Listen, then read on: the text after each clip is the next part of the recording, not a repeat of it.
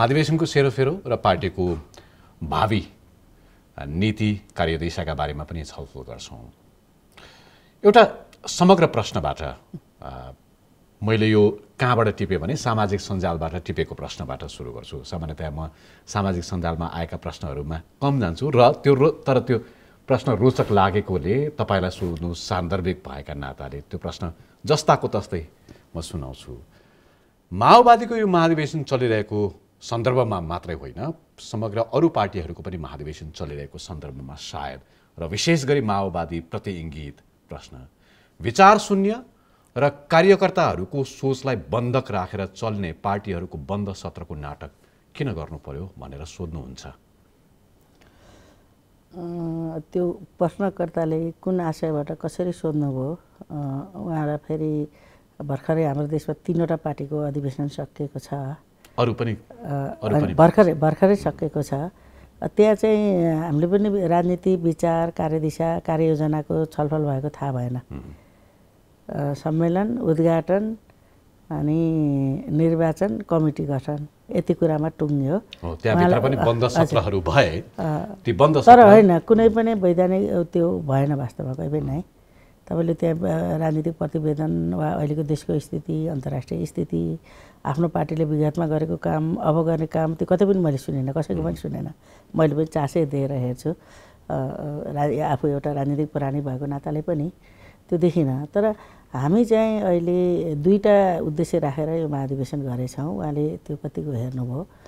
एउटा हामीले हाम्रो विचारमा अलिक क्रान्तिकारीकरण गरेर विचारको विकास गर्ने कार्यदिशाको पनि विकास गर्ने अनि सङ्गठनलाई पनि नयाँ ढङ्गले रूपान्तरणको सङ्गठन बनाउने भनेर हामीले दुईवटा उद्देश्य बडो निर्दिष्ट गरिएको छ र संक्षिप्त एकदमै हाम्रो मूल नारामा पनि हामीले त्यसलाई केन्द्रित गरेका छौँ।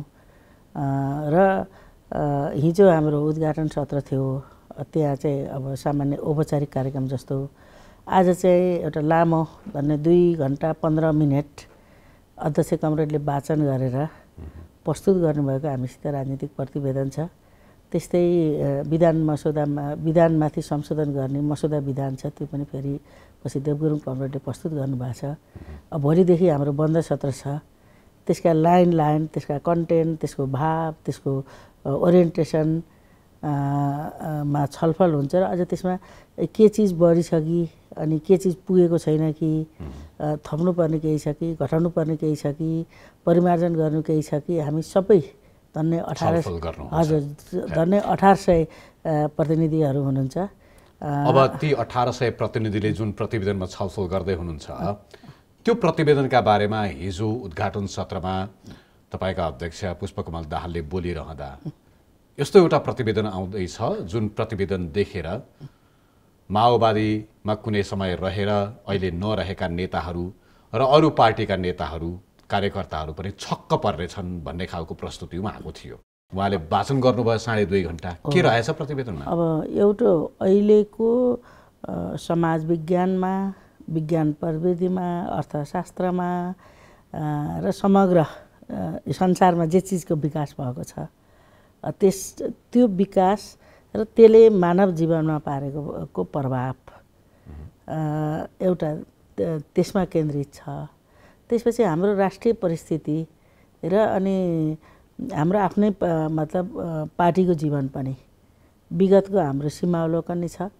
वर्तमानको स्थिति पनि छ र हामी कसरी जाने भनेर पनि प्रस्तुत गरिएको छ।